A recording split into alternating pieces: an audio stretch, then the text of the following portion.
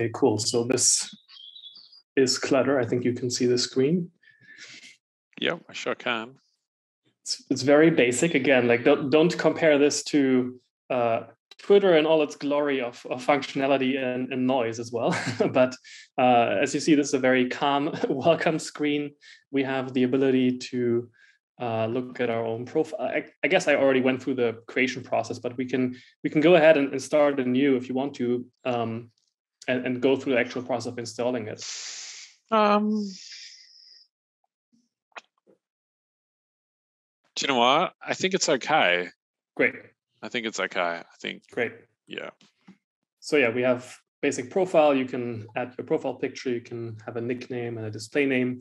Uh, you can have a bio and a location, and all of these are required to actually um, get a username or get a user there.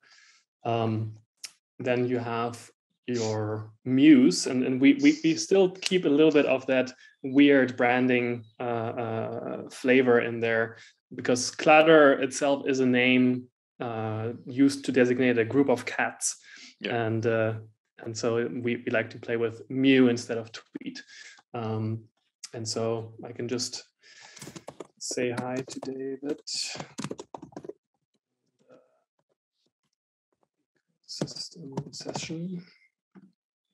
And as you can see, we also have the sort of hashtag underlining. So uh, that, that is true for hashtags. We have that for cash tags as well with the dollar sign before that. And we also have uh, plans to enable that for all kinds of sort of folksonomy tagging systems, if you will. Um, there is also a GitHub repository that you can go to to learn more about the project and to understand its current form. This is the releases page where you can download the actual web hApp file to install on the launcher. Mm.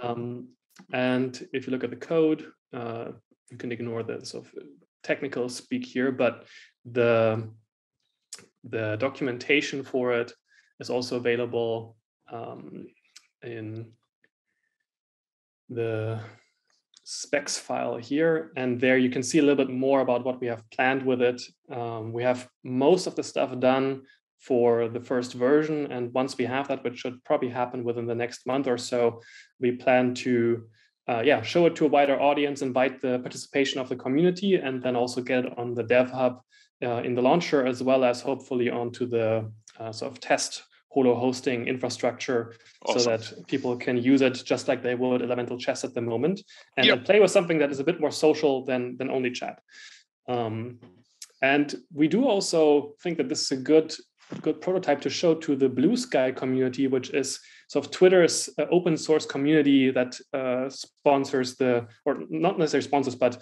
invites people with in the sort of web3 and distributed web space to experiment on transitioning parts of uh, Twitter onto open source architectures and, and, sort of open source technologies. So we're, we're hoping to have that conversation through Paul and some of the people involved there.